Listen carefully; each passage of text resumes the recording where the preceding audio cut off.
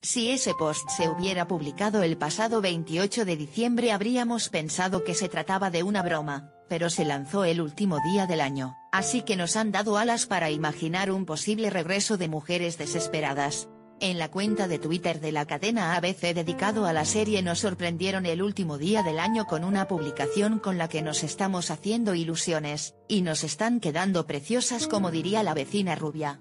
Es cierto que no añade confirmación, y podría ser una manera de dar la bienvenida a 2022, pero tampoco sería descabellado pensar que hay una mínima posibilidad para que las protas volvieran con nuevas aventuras a Wisteria Lane. ¿Te imaginas?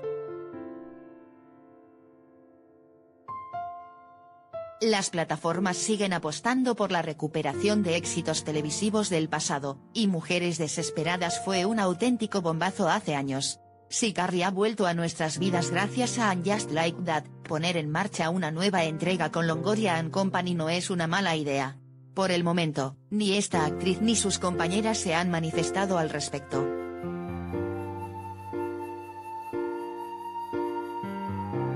Discontent is imported from Twitter. You may be able to find the same content in another format, or you may be able to find more information, at their website.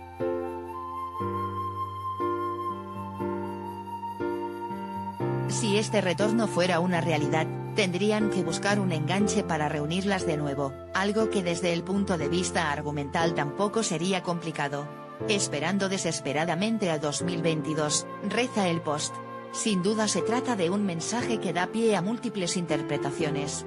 En varias entrevistas, Longoria ya mostró su deseo de volver a encarnar a Gabriel Solís, mientras que Terry Hatcher aseguró en su momento que la posibilidad de un retorno era prácticamente nula. Sin embargo, siempre se puede cambiar de idea y más en el momento actual. También podría tratarse de una simple reunión del reparto como ya ocurrió con Friends o Harry Potter. De momento, tenemos muchas preguntas y pocas certezas, pero estaremos atentas por si este deseo se hace realidad.